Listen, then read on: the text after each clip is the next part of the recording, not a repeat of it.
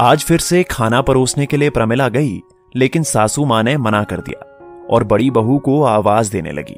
प्रमिला को अपनी सास पर बहुत गुस्सा आ रहा था। वो अक्सर इसी तरह करती हैं। कल भी तो जब पूर्णिमा की पूजा के लिए हाथ बटाने गई तो सास ने कहा, तुम छोड़ो, बड़ी बहू कर देगी। कोई मेहमान आए तो खाने में क्या बनेगा? किसी की शादी में जाए तो उपहार क्या देना है? घर का कोई सामान खरीदना है तो बड़ी बहू। मतलब हर चीज़ में बड़ी बहू। प्रमिला को बहुत गुस्सा आता है सास की बड़ी बहू की रट से। प्रमिला का गुस्सा आज अपने पति के पास फूट ही गया। माँ जी, हर वक्त बड़ी बहू बड़ी बहू की रट लगाए रहती हैं। क्या मुझे कुछ नहीं आता? क्या मैं सबको खाना नहीं परोस सकती? ना कि पूजा की तैयारी मुझको करनी नहीं आती? मुझे भी दुनियादारी की समझ है। किसको क्या उपहार देना है? किस रिश्तेदार के घर क्या ले जाना है? मैं भी सलाह दे सकती हूँ। लेकिन माँ जी को तो सिर्फ़ बड़ी बहू ही दिखती है। प्रमिला को इतने गुस्से में देखकर सुनील ने उसे पानी का ग्लास पकड़ाते हुए कहा, तुम्हारे पास वक्त हो तो एक किस्सा सुनाना चाहता हूँ। सुनोगी?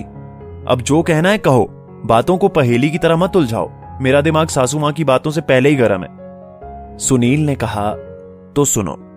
माँ हर वक्त बड़ी बहू बड़ी बहू की रट क्यों लगाती है? आज के संपन्न परिवार की तरह हमारा घर पहले ऐसा ना था। बहुत गरीबी के दिन थे हमारे। पापा जी बचपन में चल बसे थे। माँ ने बड़े कष्ट से हम लोगों को पाला है। भैया, मैं और छोटी छोटी दो बहनें, चार छोटे बच्चों की पढ़ाई लिखाई का भार माँ नहीं संभाल पा रही थी। तो भैया ने पढ़ाई छोड़कर चाय पकौड़े बेचने का काम शुरू किया। दिन गुजरते गए, माँ ने एक गरीब घर की घरेलू समझदार लड़की भैया के लिए पसंद की। बहुत ही साधारण तरीके से भैया की शादी हो गई। हम छोटे छोटे भाई बहन भाभी को देखकर बहुत खुश हो गए। भाभी ने आते ही माँ के नक्शे कदम पर बहुत ही अच्छे तरीके से घर को संभाल लिया। गरीबी में भी वो भरपेट खाना अपनी सूझबूझ से खिला देती थी। अगर माँ कहती कि बेटा, इतने से सामान में पूरा महीना चलाना है तो भाभी की सूझबूझ से ना जाने कैसे पूरा महीना निकल जाता और कुछ सामान बच भी जाता। अक्सर भैया को अपने छोटे से व्यवसाय में सुझाव देती तो कभी कभी मदद भी कर देती। भैया की वो बहुत अच्छी जीवन संगिनी माँ के घर की लक्ष्मी और हम लोगों की भाभी माँ थी, जो हमारी छोटी छोटी आवश्यकताओं को घर के खर्च से न जाने कैसे पूरा करती थी। उनकी समझदारी माँ को बहुत भाती थी। घर में अच्छे पकवान प्रतिदिन नहीं बनते थे, इसलिए घर के सदस्यों के हिसाब से अच्छा खाना कम भी बने तो वो बड़ी कुशलता से खाना परोस देती कि सबकी थाली में आज का अच्छा खाना रहे। दो बहनों की शादी भी साधारण तरीके से अच्छे घरों में हो गई। जिसमें भाभी का योगदान भी था। भाभी ने ही पारखी नज़रों से दोनों बहनों के लिए लड़का खोजा था। भाभी पूरी तरह से इस घर के लिए समर्पित थी। आज दोनों बहनें और जीजा जी अपना सुखी जीवन व्यतीत कर रहे हैं। भाभी के आए हुए दस साल हो गए हैं। माँ पूरी तरह से भाभी पर निर्भर हो गई हैं। उनका विश्वास है कि भाभी हर काम को अच्छे से करेंगी। भाभी को अच्छे से पता है कौन से रिश्तेदार कैसे हैं, किन लोगों ने हमारे बुरे वक्त में साथ दिया। इसलिए माँ रिश्तेदारों को उपहार देने की बात भाभी से पूछती है। मेरी माँ बुरी नहीं है।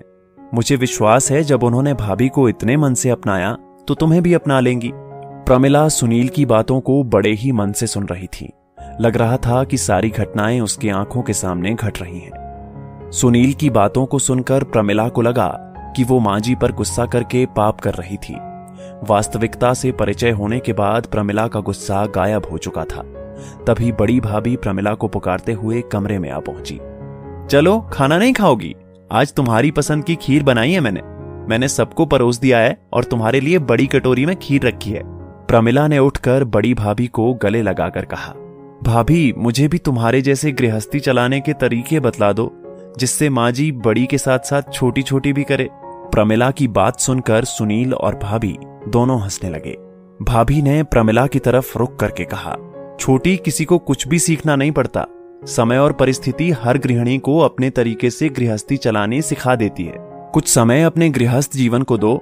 देखना धीरे धीरे प्यार और अपनेपन से तुम भी सबकी चहेती हो जाओगी।